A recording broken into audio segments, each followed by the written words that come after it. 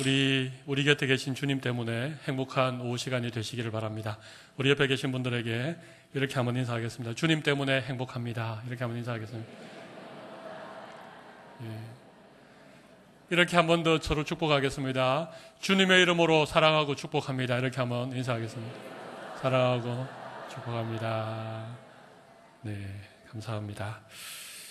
우리 오늘 오후 예배 시간에는 우리 짧은 말씀 한 구절만 보도록 하겠습니다. 고린도 후서 5장 17절 말씀이 되겠습니다. 고린도 후서 5장 17절입니다. 신약성경 291면에 있는 말씀입니다. 제가 한번 읽고 우리 성도들과 같이 한번 읽도록 하겠습니다. 그런 적 누구든지 그리스도 안에 있으면 새로운 피조물이라 이전 것은 지나갔으니 보라 새 것이 되어도다. 아멘. 같이 한번 읽겠습니다. 그런 적 누구든지 그리스도 안에 있으면 새로운 피조물이라 이전 것은 지나갔으니 보라 새 것이 되었도다. 아멘. 제가 16절도 읽어드리도록 하겠습니다. 16절. 그러므로 우리가 이제부터는 어떤 사람도 육신을 따라 알지 아니하노라. 비록 우리가 그리스도도 육신을 따라 알아서나 이제부터는 그같이 알지 아니하노라. 아멘. 어, 저는 어, 초등학교 동창회를 한 번도 나가본 일이 없습니다. 어, 중학교 동창회도 나간 일이 없습니다. 고등학교 동창회는 더더욱 나가지 않습니다. 왜냐하면 제가 고등학교 때 약간 방황했기 때문에 어, 고등학교 동창회는 나가지 않습니다. 어, 왜냐하면 지금 목사가 된 저를 보고 우리 고등학교 동창들이 깜짝 놀랄 것 같아서 제가 가능하면 나가지 않습니다. 어, 동창회를 가보면 신기하게 나이가 50이든 60이든 상관없이 초등학교 동창회 가면 어, 50년 전 초등학교 시절로 타임머신을 타고 순식간에 돌아가 버립니다. 그러니까 초등학교 동창들이 만나면 꼭 하는 얘기나 모든 것들이 다 초등학교 모습입니다. 너무 신기하지 않습니까? 고등학교 동창회를 가면 저는 가보지는 않았지만 고등학교 때 그 시절로 돌아가는 것입니다. 그 10대 후반에 한참 개구지고 그런 시절로 돌아가는 것입니다. 뭐 애기 아빠가 됐든 할머니가 됐든 할아버지가 됐든 상관없이 야, 자 해가면서 그렇게 돌아가는 것이죠. 어, 우리는 지난날 초등학교 시절, 중학교, 고등학교 시절이 다 무시된 채 인생을 살아가지는 않습니다. 우리에게는 누구나 과거가 있습니다. 젖 먹던 어린 시절 여러분들 혹 기억 못 하실지 모르겠지만 어, 여러분들이 젖 먹던 시절도 있었고 대소변을 가리지 못했던 그런 시절도 있었습니다. 코를 훌쩍훌쩍 해가면서 이 이렇게 내려오는 코는 또 가끔씩 빨아먹기도 하면서 어, 그렇게 지내셨던 시절도 우리에게는 다 있습니다. 그런데 우리가 늘 그 시절에 머물러 있지는 않습니다. 우리가 그런 시절을 지내고 10대가 되고 20대가 되고 성인이 되고 결혼을 하고 그렇게 지금까지 우리가 살아온 것입니다. 만약에 어, 우리 가운데 어, 그냥 과거의 모습 그대로 하나도 변하지 않고 만약 우리가 있다면 그것 또한 큰 문제가 아닐 수 없습니다. 어떤 분들은 이렇게 얘기를 하시더라고요. 아, 나는 여전히 10대야. 제가 볼 때 전혀 아닌데, 제가 볼 때 60대신데, 꼭 자기를 가리켜 10대라고 얘기를 하는 분이 계시더라고요. 물론 그 마음을 이해를 합니다. 마음만은 10대라고 생각을 하고 사실지 모르겠지만 여러분 10대는 10대의 삶이 있고 50대는 50대의 삶이 있습니다. 여러분 하루가 있다는 것, 아침에 해가 뜨고 또 저녁에 해가 지고 밤이 된다는 것, 그래서 또 하루가 시작되어진다는 것, 여러분 이게 참 놀라운 일입니다. 예. 만약 하루가 우리에게 없다면, 예, 해가 지지 않는다면, 뭐 본인이 알아서 잘 때 자고 깰 때 깨고 일할 때 일하고 그냥 해는 늘 중천에 떠 있고 만약에 그렇다고 해보십시오. 우리의 삶이 어떻게 되겠습니까? 1년이 있다는 것, 12월이 시작되어지고 이제 2013년이 불과 며칠 남지 않았다는 것. 그래서 또 한 해가 저물어가고 새해가 밝아온다는 것. 여러분 이거 얼마나 놀라운 일인지 모릅니다. 만약 이런 것이 우리에게 없다면 여러분 우리가 성장할 수 있겠습니까? 늘 10살이면 좋겠습니까? 늘 그냥 20, 20살에 머물러 있으시면 좋겠습니까? 여러분 그게 좋을 것 같아도 좋지 않습니다. 하루에 해가 뜨고 지고 한 달이 지나가고 1년이 저물어 가는 이런 시간을 하나님 우리에게 주셨다는 게 얼마나 감사한지 모릅니다. 그래서 우리가 지난 시간들을 돌이켜보고 혹 우리에게 부족한 것이 있으면 하나님 앞에 기도하고 하나님의 도우심을 구하고 새 마음과 새 뜻과 새로운 결단으로 또 새로운 해를 우리에게 하나님 허락하신다는 게 얼마나 감사한 일입니까? 여러분 이런 하나님의 은혜에 감사할 수 있는 이 시간에 되시기를 바랍니다. 제가 내년도 2014년도에 어떤 것이 좀 새로워질 것인가에 대해서 제가 좀 조사를 해봤습니다. 어, 총 152건이 2014년도에 새롭게 바뀝니다. 일반 행정 부분에 18건, 보건 복지 여성 부분에 18건, 공공시설과 공공시설 부분에 아, 죄송합니다. 이게 보건 복지 여성 부분에 18건 중에 속한 것입니다. 그 다음에 산업 경제 부분에 6건, 환경 부분에 15건, 문화, 체육, 관광 부분에 4건, 도시, 건설, 교통 부분에 33건, 농정, 축산, 산림 부분에 49건, 그리고 마지막 소방 부분에 4건. 해서 총 152가지가 내년에 새롭게 바뀌어지는 것입니다. 이런 거 여러분 모르셨죠? 여러분 152가지가 바뀌는데 어, 여러분의 삶의 새로운 일들이 좀 있으리라고 생각을 합니다. 여러분에게 조금 어, 생활에 관련이 있는 게 뭐가 있을까 제가 쭉 한번 찾아보니까 이런 게 있더라고요. 어, 초미세먼지 경보 체제를 내년에는 새롭게 시행한다. 초미세먼지 아시죠? 뭐 뉴스를 통해서 서울 쪽에는 최근에 몇 번 일어났고 우리 부산도 얼마 전에는 좀 영향을 미쳤던. 그래서 초미세먼지 주의보를 예비 경보를 발령하고 주의보를 발령하는 이런 어떤 체계를 내년에는 새롭게 시작한다 그렇게 되어 있습니다. 이런 것도 있더라고요. 공, 공동주택 하자 보수금 사용 내역을 신고하게 되어 있습니다. 입주자 대표가 임의로 사용할 수 없도록 그렇게 했고 30일 이내에 시장이나 군수에게 반드시 신고해야 된다는 것입니다. 그 아파트라든지 이런 공공주택에 하자 장기 하자 보수 기금이 있습니다. 그걸 뭐 입주자 대표 몇 명이 이렇게 속닥속닥 해가지고 임의로 전용을 하거나 사용을 할 수 없다는 것입니다. 어디에 썼는지 반드시 시장이나 군수에게 30일 이내에 신고를 하게 되어 있는 이런 제도가 내년에 새롭게 시작되어진다는 것입니다. 이런 것도 있더라고요.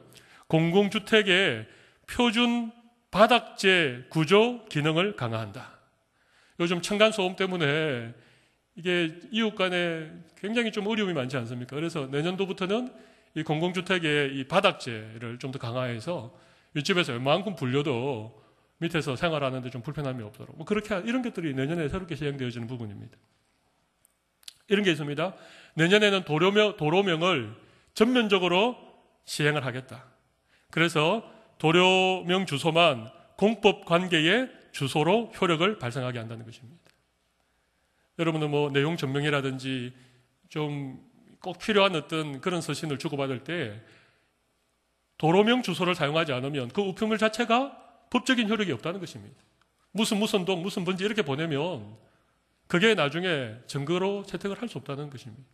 이런 게 자꾸 바뀌는 것입니다. 공공시설의 금년 구역을 150제곱미터에서 100제곱미터로 이렇게 좀 더 강화를 했다. 이런 것도 나오더라고요.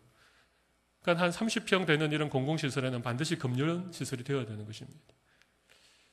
부산에도 요즘 뭐 거의 대부분의 식당이 다 금연을 하는데 조그마한 규모의 식당에서는 이 금연을 잘 지키지 않는데 내년에는 이 100제곱미터니까 뭐한 30평 좀 되는 그렇게 크지 않는 그런 공공시설에도 다 금연을 해야 된다. 법적으로 금년을 시행하도록 그렇게 법령이 바뀌어진다는 것입니다. 최저임금도 바뀝니다. 최저임금 시간당 4,860원에서 내년에는 5,210원으로 그렇게 약간 인상이 되어주고요. 우리 어, 하루 동안 받는 일, 임금 있죠, 임금. 임금은 38,800원에서 41,680원으로 41,680원으로 약간 인상이 되어지는 그런 것도 있습니다. 뭐 여러분에게 얼마나 관계가 되는지 모르겠지만 이런 것들이 152건이 있다는 것입니다. 내년에는 의료, 관광, 호텔 이름을 단 호텔들이 세워지는 게 허락이 났습니다. 우리나라에 이제 의료 관광을 많이 오니까 아예 뭐 호텔 이름을 의료 관광 호텔 이런 이름으로 어떤 숙박 시설을 세울 수 있는 허가가 내년부터는 시행이 된다고 합니다. 아, 여러분 이게 내년에 새롭게 바뀌어질 다양한 어, 법제나 시행령 중에 제가 몇 가지를 여러분에게 소개해 드렸습니다. 어, 자꾸 세상이 바뀌는 거예요. 자꾸만 제도가 바뀌고 법이 바뀌고 또 더 편리한, 더 효율적인 그런 어떤 다양한 어떤 이런 사회의 기반들이 만들어져 가고 있는 것이죠. 그러니까 이런 어떤 사회 속에 적응하기 위해서라도 우리가 좀 새로운 그런 변화에 대해서 우리가 좀 민감하고 열린 마음을 가져야 될 필요가 있다. 그렇게 생각을 합니다.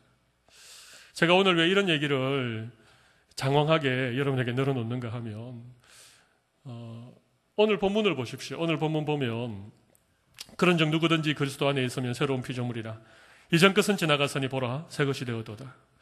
우리가 그리스도 안에 있을 때에 우리가 새로운 피조물이 된다는 것입니다. 이 얼마나 놀라운 일입니까? 과거의 우리 그리스도 밖에 있었을 때의 우리의 모습대로 우리를 보지 않고 우리를 알지 않고 예수 그리스도 안에서 전혀 새로운 피조물로 우리를 여겨주시겠다. 저는 이게 참 은혜입니다. 16절도 제가 읽었습니다만은 16절 보십시오. 이런 말씀이 나와 있죠. 그러므로 우리가 이제부터 어떤 사람도 육신을 따라 알지 아니하노라. 육신을 따라 안다는 게 뭡니까? 육신을 따라 안다는 말은 과거에 쭉 해왔던 그 모습 그대로를 판단의 기준으로 삼고 그 사람을 생각하겠다는 것입니다. 뭐 너가 예전에 그랬으니까 지금 또뭘 변하면 얼마나 변했겠어? 이런 얘기입니다. 아, 뭐, 그 어릴 때에 뭐, 뭐, 개구지고 뭐, 콧질질 흘리고 뭐, 뭐, 공부도 못하고 지금 뭘, 어떻게 해서 이렇게 지금 생각한다는 것입니다. 아, 고등학교 다닐 때 껄렁껄렁하게 뭐 이렇게 나쁜 친구들이랑 어울려 다니고 이러는데 뭐 그, 그 친구가 목사를 한다고? 저 얘기가 아닙니다. 네. 그렇게 알지 않겠다는 것입니다. 사도 바울도 한때는 핍박자였습니다. 폭행자였습니다. 스데반을 돌로 쳐 죽이는 일에 주동자였습니다. 만약에 사도 바울을 그런 사람으로 계속해서 교회가 그를 받아주지 않았다면 어떻게 되겠습니까? 사실 처음에는 막이 다메섹 도상에서 사도 바울이 예수님 만나고 인생이 180도 달라져서 그 열정에 예루살렘에 가서 막 예수님 전하니까 전부 다 사람들이 색안경을 끼고 봤습니다. 저 사람이 돌았나? 사도 바울을 믿어주는 사람이 한 사람도 없었습니다. 만약에 아무도 그 사도 바울을 믿지 않고 옛날에 어? 서대반을 돌로 쳐 죽였던 그 청년 사울로 알고 있었다. 예수님을 잡아, 죽이는 예수 믿는 사람을 잡아 죽이는 일에 앞장서는 그런 사람으로만 사도 사울을 알고 있었다면 그가 어떻게 사도가 되고 성경을 13권이나 기록한 그래서 오늘 우리에게 참 이 보배 같은 하나님의 말씀을 전해주는 일들을 할 수 있었겠습니다. 바나바라고 하는 그 사람이 위로자 바나바 바나바라고 하는 사람이 아무도 믿어주지 않는 그 사울이라고 하는 청년을 새로운 피조물로 바라보는 것입니다. 예수 그리스도 안에서 새롭게 사울을 바라보니까 사울을 신뢰해주고 그를 데려다가 안디옥 교회에서 함께 목회하고 그를 예루살렘 교회 사도들에게 청거하고 소개하고 여러분 만약에 우리를 과거의 모습 그대로 육신대로 우리를 서로 바라보고 있으면요. 우리에게는 소망이 없습니다. 우리에게는 가능성이 전혀 없습니다.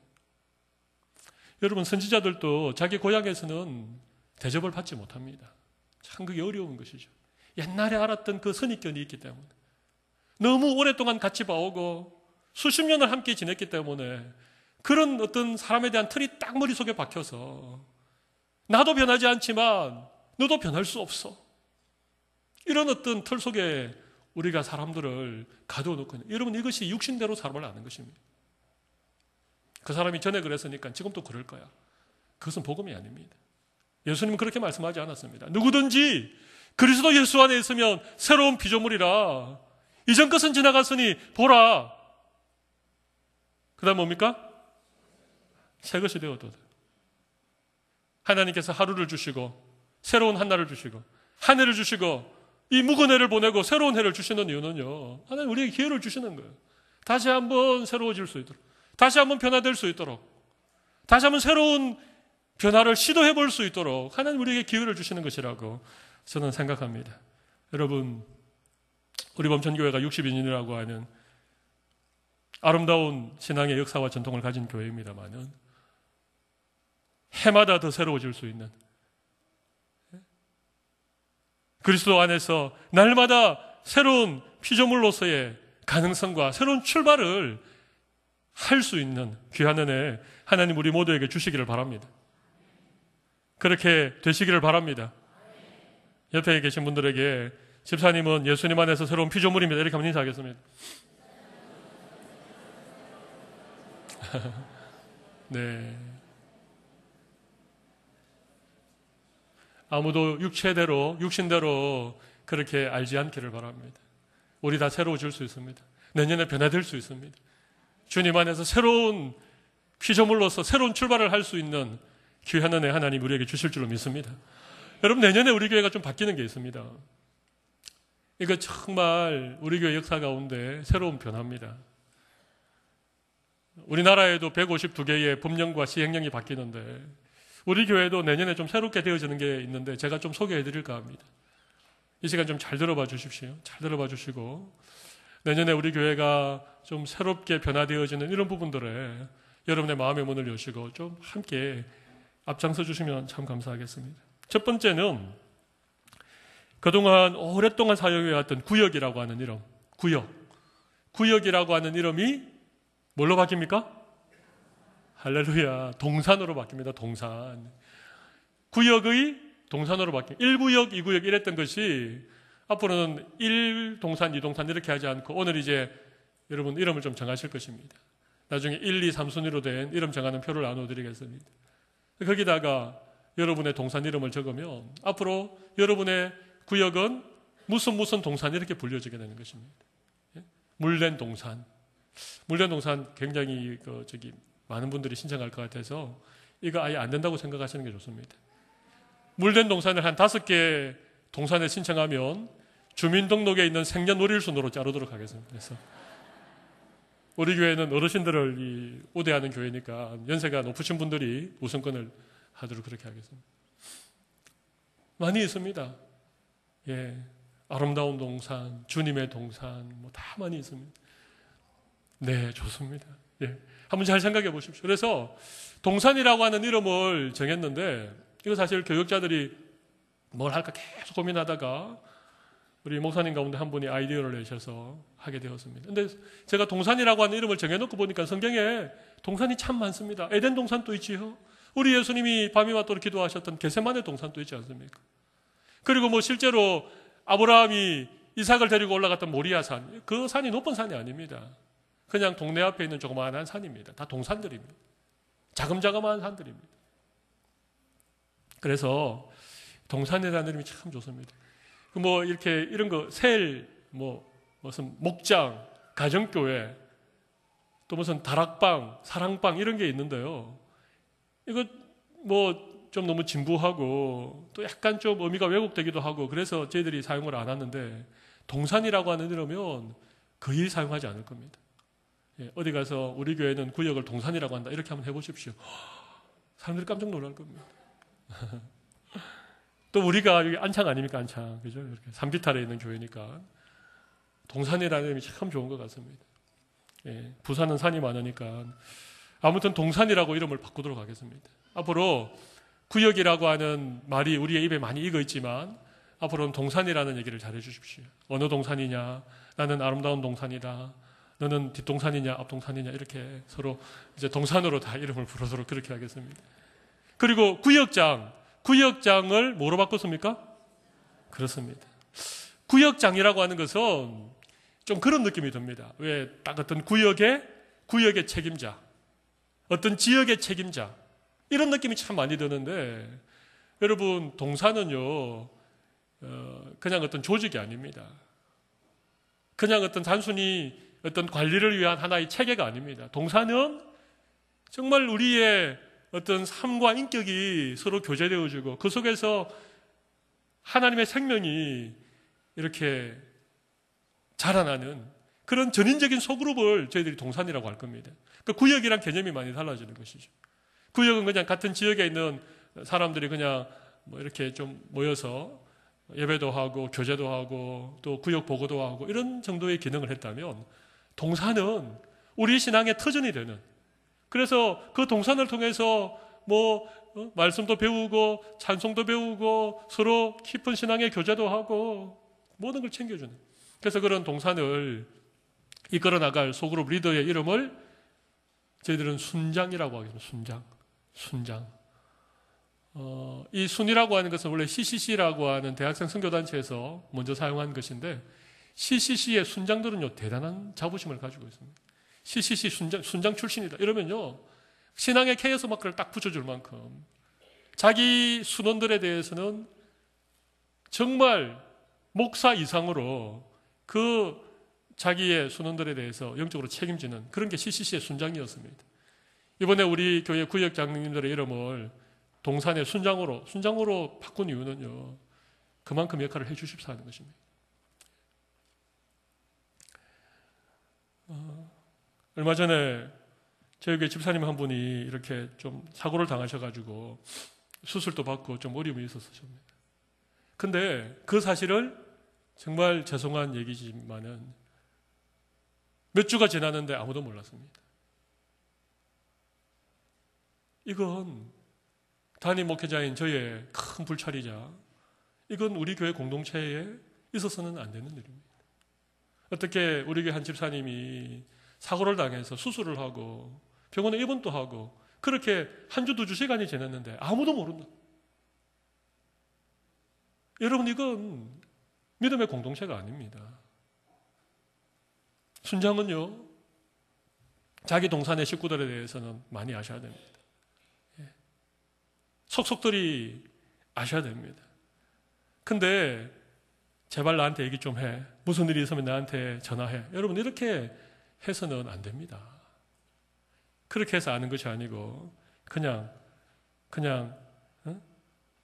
급한 일 만나면 친정엄마가, 친정엄마가 생각나는 것처럼 동산 식구들이 삶에 어떤 문제가 있거나 어떤 일이 있어도 제일 먼저 생각나는 사람이 우리 동산의 순장님. 그런, 그런 관계가 돼요. 이게 사실은 자연스러운 것입니다. 앞으로 우리 교회의 순장님들은 그런 역할을 하도록 하겠습니다. 그래서 토요일쯤 되면 토요일쯤 되면 우리 순장님들이 내일 주일에 우리 동산 식구들 중에 누구는 교회에 오고 누구는 무슨 일이 있어서 이번 주는 교회 혹 빠지고 누구는 오후까지 있을 거고 누구는 오후에 무슨 집안에 급한 일이 있어서 이 정도를 토요일 정도 되면 순장님들이 다 알 수 정도로 그렇게 사실은 되어야 됩니다. 내년에 그런 부분들을 위해서 힘을 써도록 하겠습니다. 내년에 제일 중요하게 바뀌는 것이 우리 구역 이름이 동산으로 바뀌고 구역장님이 순장으로 바뀌어지는 이런 부분들입니다. 우리 순장님들이 좀 마음에 부담이 되시죠? 예, 저도 부담이 됩니다. 네. 그 정도로 여러분들에게 동산을 영적으로 잘 섬기고 관리하도록 제가 부탁드리려면 저와 우리 교육자들도 그에 못지않게 성도들을 위하여서 매일매일 기도하는 이런 일이 있어야 되기 때문에 저희들도 그런 수고와 교회를 위한 헌신을 각오하고 제가 순장님들에게 강력하게 부탁을 드리려고 합니다. 또 한 가지는 각 기관의 어, 모임이 좀 바뀌게 되어집니다. 기관 이름은 바뀌지 않습니다. 1에서 6 남전도회, 우리 아브라함 반을 포함해서 또 사라 반을 포함해서 1에서 10여 전도회. 이 모든 전도회 기관들이 첫째 주, 셋째 주는 반드시 나눔 모임을 해야 됩니다. 내년에는 기관실을 다 따로 배정을 해드리겠습니다. 지금 다섯 개 기관에 기관실이 부족한데 지금 당에서 계속 논의해서 다 각 기관마다 하나의 기관실을 다 드리겠습니다. 여전도회는 주로 우리 지금 현재 사용하는 기관실을 그대로 사용할 수 있도록 하고 남전도회가 조금 이렇게 바깥으로 좀 나가도록 그렇게 하겠습니다. 그래서 첫째 주, 셋째 주에는 기관 모임할 때 반드시 말씀을 나누는 말씀 나눔 모임을 하겠습니다. 둘째 주에는 일제히 원래를 하겠습니다. 그리고 넷째 주에는 뭘 하느냐?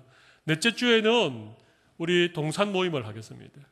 우리 교회 구역 모임이 한 달에 한 번밖에 없었는데 내년에는 첫째 주일 지난 주 중에는 우리 각 가정마다 모이는 이런 구역 모임을 하고 동산 모임을 하고 매월 넷째 주 주일에는 점심을 먹고 나면 그때는 기관으로 모이는 게 아니고 전부 다 동산으로 모이겠습니다.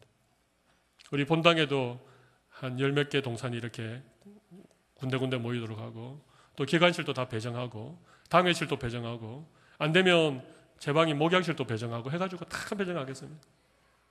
그래서 넷째 주 되면 전부 다 오전 예배 마치고 밥 먹고 나면 동산별로 다 모여서 거기에서 또 말씀 나누고 교제하고 그런 시간을 내년에는 가지겠습니다.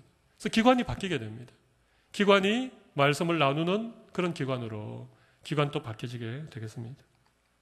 오후 어노인팅 예배도 조금 변화를 주도록 하겠습니다. 그래서 우리가 매주 이렇게 모든 세대가 다 모였는데 첫째 주에서 셋째 주까지는 지금처럼 이렇게 모든 세대가 다 모여서 예배하지만 넷째 주는 우리 청년 대학부는 그루터기랑 하늘타리는 좀 자체적으로 그런 예배를 드릴 수 있도록 그렇게 좀 배려를 하겠습니다. 우리가 세대가 공감해야 되지만 또 우리 청년들이 좀 함께 모여서 예배할 수 있는 시간이 필요하기 때문에 그렇게 넷째 주일은 그렇게 하도록 하겠습니다. 오후 anointing 예배 시간에는 10계명, 사도신경 주기도문, 우리 신앙생활의 가장 근간이 되고 기본이 되는 이런 부분들에 대해서 좀 체계적인 강의를 하도록 하겠습니다. 그래서 이 시간에 참석하면 여러분들이 10계명에 대해서 체계적으로 배울 수 있는 그런 기회를 좀 드리려고 합니다. 이런 부분들이 내년에 달라지게 되어지는 부분입니다. 마지막으로 제가 한 가지만 더 말씀을 드리겠습니다. 내년에는 우리 주일 오전 예배 시간, 특별히 11시 2부 예배 시간에 우리 예배의 좌석을 여러분이 앉는 자리를 좀 많이 바꾸도록 하겠습니다. 오늘 이렇게 동산별로 앉으니까 여러분들이 원하는 원치 않든 이렇게 앞쪽부터 다 앉으시게 되셨는데 주일 오전 예배는 다 자율적으로 이렇게 오는 대로 앉으시니까 앞쪽에 잘 앉지 않습니다. 뒤쪽에 앉으시고 가운데 앉지 않습니다. 가쪽에 앉습니다.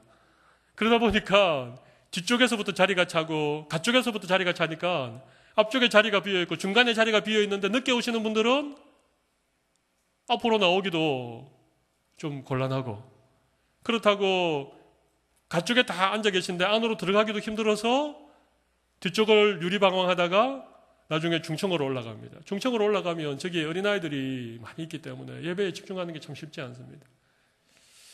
그래서 내년에는 1월 한 달 내내 저희 신무 장로님들이 다 안내위원이 되셔가지고 장로님들이 복도 복도에 서서 여러분들 안내하도록 그렇게 하겠습니다. 1월 한달 동안 그렇게 하겠습니다. 예, 그래서 우리 앞쪽부터 앉으시고 안쪽부터 앉으시는 여러분 이게 예배하는 우리의 기본적인 자세입니다. 그게 안 되는데 우리가 하나님 앞에 최선의 예배자가 될 수 있겠습니까? 그런 마음가짐으로 예배를 하지 않는데 최고의 예배를 우리가 하나님 앞에 올려드릴 수 있겠습니까?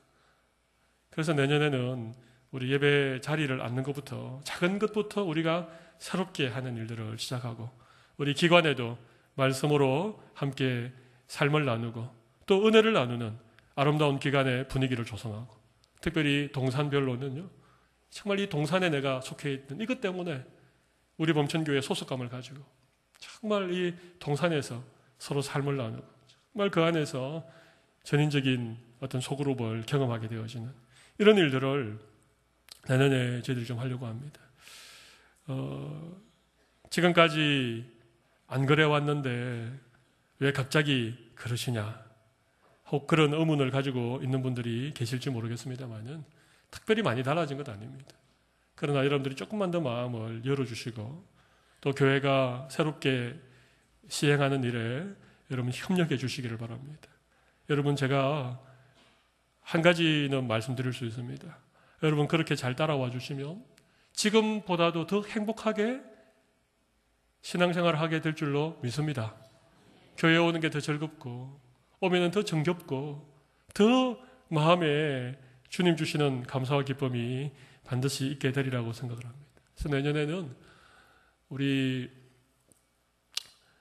어, 부흥의 새 역사를 펼쳐가는 건강한 공동체라고 하는 이런 하나님 주신 어떤 표어 우리 기도의 제목 따라서 교회가 어떤 새로운 새로운 부흥의 역사를 이루어갈 수 있는 그런 한 해가 될 수 있도록 하겠습니다. 어, 여러분들 좀 마음을 모아 주시기를 바라고요. 어, 내년에는 기도하는 일과 전도하는 일에 힘을 쏟으려고 합니다. 예, 전도하지 않는데 교회가 부흥할 수 없습니다. 기도하지 않는데 교회가 앞으로 나아갈 수 없습니다. 그래서 전도하고 기도하는 이런 일들 열심히 하겠습니다. 오늘 아마 이 동산별로 모였을 때에 우리 순장님들에게 동산 보고서 나누어 드리면 어, 거기에도 여러분들의 신앙을 잘 점검할 수 있는 모든 표시가 다 나와 있습니다. 그래서 우리가 서로 점검하고 챙겨주고 또 서로 격려하는 것을 통해서 내년에는 우리 교회가 그동안 하나님께 받았던 그 은혜를 더 힘있게 그렇게 펼쳐낼 수 있는 그래서 교회가 다시 한번 부흥의 새로운 역사를 이루어갈 수 있는 그런 은혜 주시면 좋겠다 생각을 하고요. 마지막으로 딱 한 가지만 더 말씀을 드리고 마치도록 하겠습니다. 오늘 제가 너무 많이 말씀드리면 여러분들이 이게 소화하기가 어려우실 것 같아서 딱 한 가지만 말씀드리겠습니다. 어, 내년에는 333, 333 신앙운동을 전개합니다. 주보의 목자의 심정에 제가 그런 글을 실어서 이미 읽어보신 분이 계시리라, 계시겠습니다만은 333 신앙 운동이 뭔가 하면 하루에 30분 이상 기도, 하루에 성경 3장 이상 읽기, 1년에 3명 이상에게 전도하기. 이게 333 신앙 운동입니다. 우리 범천교회 속한 모든 성도들은 저를 포함해서 한 사람도 예외 없이 내년에는 하루 30분 기도, 성경 하루에 3장 이상 읽기, 그리고 1년에 3명 이상 전도하기. 이 333 신앙운동에 여러분들 적극 마음을 모아 주시면 감사하겠습니다. 저는 범천교회 담임 목회자로 부름받고 2년이라고 하는 세월이 흘렀습니다. 참 부족한 것이 많고 서툰 것이 많았는데 우리 성도님들이 잘 용납해 주시고 또 어, 교회가 하는 일에 대해서 얼마나 잘 마음을 모아주시고 협력해 주시는지 모르겠습니다. 이제 내년이 3년째입니다. 어, 저는 하나님께서 3년째 하나님이 또 새 일을 교회 가시고 그 일을 이루어 가신다고 저는 믿습니다. 우리 모든 성도들이 이와 같은 일들의 마음을 모아주시고 함께 기도하면서 우리 앞으로 전진할 때 하나님께서 우리를 통해서 놀라운 일들을 이루어 주시리라고 믿습니다. 우리 시간 한번 기도하도록 하겠습니다.